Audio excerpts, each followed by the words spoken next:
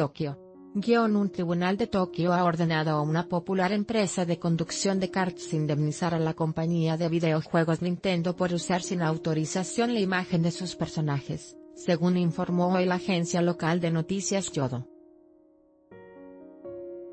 El importe de la multa impuesta a Maricar no ha sido revelado, pero Nintendo pidió 10 millones de yenes, 87.922 dólares en la demanda presentada en febrero de 2017 por considerar que el alquiler lucrativo no autorizado de disfraces de sus personajes por parte de la empresa suponía una violación de derechos de autor.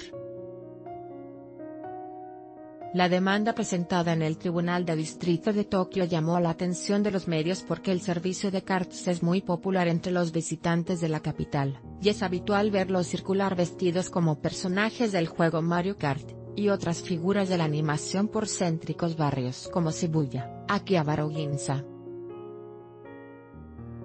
Además del pago de una compensación económica, el fallo prohíbe a Maricar seguir con el alquiler de los disfraces vinculados a las franquicias de Nintendo, explicó esta última en un comunicado